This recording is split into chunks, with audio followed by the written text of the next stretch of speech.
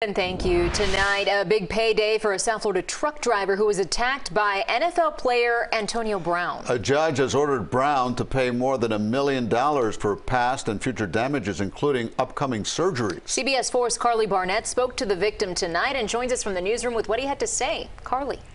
Warren Elliott, well, getting to this point hasn't been easy, not just because of the physical injuries that the victim had to deal with, but as his attorney tells us, getting Antonio Brown to cooperate with any court proceedings was nearly impossible. This dash camera video recorded the moment Antonio Brown grabbed the driver of a moving truck. You see their reflection in the window, Brown's girlfriend yelling for him to stop and little by little he got aggravated. Anton Tumanov says he was making a delivery to the football player's home in Hollywood in January 2020 when he says Brown became upset that he still owed $4,000. He threw uh, the rock at my window. Uh, luckily, it didn't hit the glass. It hit a little bit lower. Tumanov left and reported the incident to 911, but his company called and told him to go back because Brown's manager called and said he had calmed down. When he returned, Brown tried to grab the keys out of his hand.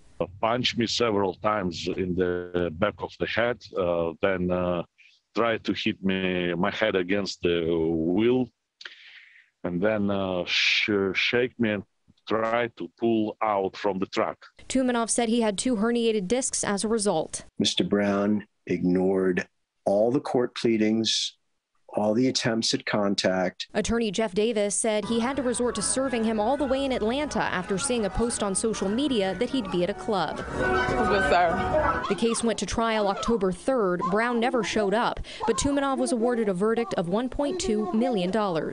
I think that that stands as just compensation for Mr. Tumanov's injuries and damages. And hopefully, Mr. Brown will realize that and honor his obligation to pay it.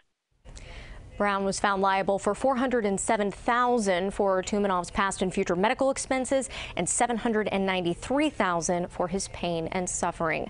Live in the newsroom, Karli Barnett, CBS 4 News tonight.